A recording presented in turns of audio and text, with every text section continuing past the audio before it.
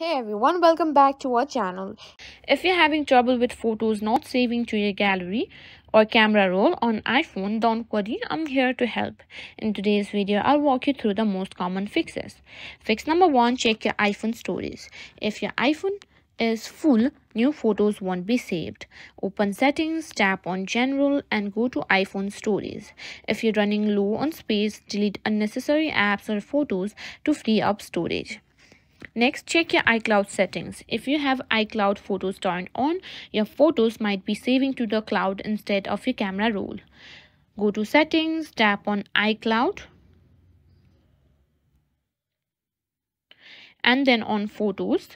Make sure iCloud photo is enabled. If it's already turned on, try turning it off and again to reset the sync. Now, fix number three is to restart your iPhone. Sometimes a simple restart can solve many issues, including photos not saving properly. Number four is to check if the camera app has the correct permissions to save photos. To check, go to settings, scroll to apps, and find camera. If you cannot find it you can simply search for it as well like this. Make sure that photo save to photos is enabled.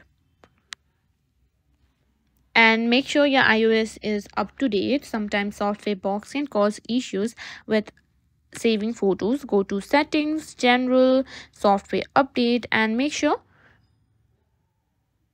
your phone is updated and that's it. One of these fixtures should help you get your photo saving again. If you found this video helpful, don't forget to like, share and subscribe to our channel.